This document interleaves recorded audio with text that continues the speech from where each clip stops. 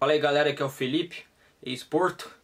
E fala aí rapaziada, eu sou o Tiz e sejam bem-vindos a mais vídeo aqui no canal. Calma, calma, calma, não comenta ainda por causa do título do vídeo, assiste o vídeo primeiro. Opa, opa. Antes de começar, queria lembrar vocês que esse vídeo aqui é patrocinado pela OneFootball. Se você quer receber todas as notificações do seu time favorito, do seu campeonato favorito, da sua seleção favorita, tudo no seu celular e de graça, baixe aí, primeiro link na descrição, pega iOS Android, não esquece, baixa aí. Bom, hoje eu quero falar esse assunto com vocês aqui que eu achei bem importante depois de ver esse começo aí de campeonatos internacionais, né, da Liga Europa e da Liga dos Campeões. E eu vou conversar com vocês aqui, então calma, vamos entender o porquê que eu tô trazendo com esse título aqui, beleza? Bom, Portugal tem um representante na Liga dos Campeões e quatro representantes na Liga Europa. Infelizmente o Porto não passou nas eliminatórias, então Portugal só tem um representante na Liga e quatro agora na Liga Europa. Que é o Benfica na Liga dos Campeões e o Braga, Vitória, é, Sporting e Porto na Liga Europa. O Benfica na Liga dos Campeões infelizmente não começou bem, cara. É o primeiro jogo que era um, um jogo pelo menos para arrancar um empate no pior das hipóteses, porque tava jogando em casa.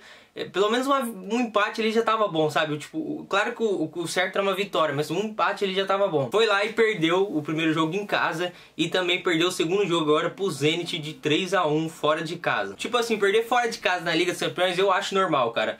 Porém, eu fico com a pergunta aqui, eu quero fazer uma pergunta aí pra vocês, torcedores do Benfica. O Zenit é tão bom, tão melhor assim que o Benfica, o time do Zenit? Eu não assisti o jogo, não acompanho o campeonato russo e eu sei que vocês assistem mais o Benfica que eu. Então, comentei, cara, o Zenit tem um time tão melhor assim que o Benfica? Porque eu acredito que não. Pra ter sido um resultado de 3 a 1 assim, largo desse jeito. Apesar do Zenit ter investido um pouco, comprou mal com tal, mas eu acredito que o time não seja tão assim, tipo, superior que o time do Benfica, cara. E esse resultado me surpreende. E esse é um dos motivos do título do vídeo, sabe? Tipo, os times de Portugal são mais fracos que os times da Europa, cara, porque foi lá, o campeonato russo também não é aquele campeonato fodástico e vai lá e perde 3 a 1 Começou mal a Liga dos Campeões do Benfica. Eu acho bem difícil passar a, a, fase de grupos, eu tô sendo sincero. Vocês sabem que eu não torço pra ninguém em Portugal, então eu tento dar minha opinião. Pode estar errado ou certa, mas eu falo aqui. Claro que tudo pode acontecer, o Benfica pode ganhar os próximos jogos todos aí e se classificar. Tomara, né? Porque eu quero que os times de Portugal avançam cada vez mais nas competições, porém eu acho bem difícil. Agora falando da Liga Europa, onde tem mais representantes aí de Portugal. Já tiveram duas rodadas é, o único time eu, de Portugal que eu acho que está melhor ali classificado, com os melhores resultados, foi o Braga, que empatou e ganhou uma. O Vitória perdeu dois jogos, o, o Sport ganhou um e perdeu um, e o Porto também ganhou um e perdeu um, se eu não me engano, tá? Pra mim, um dos grupos mais chatos da Liga Europa, não o mais chato, mas um dos mais chatos, é o grupo do Vitória. Então, cara, pra mim, é, desculpa, vocês sabem que eu tenho um carinho por, pelo Vitória, mas sendo sincero, analisando assim, eu acho o, o clube mais difícil de se classificar ali na Liga Europa, na fase de grupos, para mim é o Vitória. Porque tem o Arsenal, tem o Frankfurt, tem aquele Standard, eu acho, se não me engano, no grupo do Vitória. Então, assim, é um, um grupozinho mais chato. É um grupo mais chato, eu acho que dos times de Portugal ali pra passar, pelo menos. O grupo do Porto tá bem equilibrado. O Braga iniciou muito bem. O grupo do Braga também tá chatinho, tá com o Wolves lá mas iniciou bem também com empate uma vitória. E o Sport ainda tá ali também igual o Porto, ganhou uma e perdeu uma, ganhou o último jogo em casa de virada. A minha pergunta também é assim, o Porto ele é tão inferior perto do Feyenoord lá, que perdeu de 2 a 0 na casa deles, entendeu? Essa é a minha pergunta.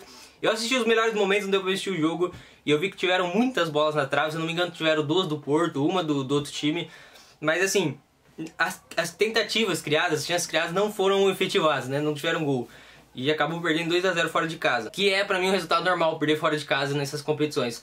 Porém, cara, pro Feyord, eu fico na pergunta, será que esse time, é, eu tô, tô, falando errado o nome, provavelmente, mas será que esse time é tão superior assim à frente do, do Porto? Essa é a minha pergunta pra vocês, torcedores do Porto, também, deixo essa pergunta, vocês que acompanham mais o time que eu, né, vocês sabem mais que eu. Então a pergunta é, o Porto ele é tão inferior assim do Feyord pra perder de 2 a 0 cara? Entendeu? É por isso que eu tô trazendo esse título, porque eu, eu acreditei que os times iam iniciar melhor nessas ligas, nesses, nessas competições internacionais. Não sei ainda, né? Porque tem bastante rodadas. Vamos ver o que vai acontecer. Eu tô torcendo para que, que, os times de Portugal vão mais longe possível, até ganhem, né? As suas competições, mas é bem difícil, cara. Caso o Benfica não passe a fase de grupos, tomara que o Benfica consiga ir pra, pra Liga Europa também, para ter mais um representante. Eu não sei se tem como, é, eu acho que tem, né? Ficar em terceiro lá com mais pontos, passa pra Liga Europa. Mas é isso, cara. Eu tomara que os times vão pra frente, mas eu queria deixar essa pergunta aqui pra vocês, analisando os primeiros resultados, do, de como que tá a tabela dos campeonatos aí. É, será que os times de Portugal são mais fracos que os times da Europa? Pode ser meio ruim ouvir isso, eu sei, eu também não ia gostar de ficar falando aqui, mas essa é a minha pergunta. Às vezes eu também fico perguntando, será que os times do Brasil são mais fracos que os times da Argentina? Porque ultimamente a Libertadores está difícil aqui também, na América do Sul. Mas eu quero deixar essa pergunta aí pra vocês e comentem aí, vocês que sabem mais, vocês que acompanham seus times mais, que conseguem ver os jogos mais que eu. Comentem aí. E é isso, cara. Ainda não acabou, como eu falei tá no início, dá pra acontecer tudo, tá? Não tô falando aqui que os times de Portugal não vão passar, não vai acontecer. Por favor, entendam. O grupo do Porto tá bem todo mundo com 3 pontos. O do Sport também tá ali mais ou menos. O PSV que tá com 6. É, o do Braga, o Braga tá em segundo com 4 e o Vitória tá em último. Mas é isso, galera. Eu queria trazer esse assunto aqui pra vocês. Comentem aí, como eu sempre falo, os comentários fazem parte do vídeo. Você que tá assistindo, olha os comentários que tem bastante discussão aí, a galera comenta. Eu acho isso bem da hora. Não esquece de seguir nas redes sociais, meu Instagram tá na descrição, Thiago segue lá que é muito importante, que o Felipe aqui do Atlético vai dar uma volta aí. Não esquece de seguir nas redes sociais, até os vídeos, se inscreve no canal se não for inscrito e tchau!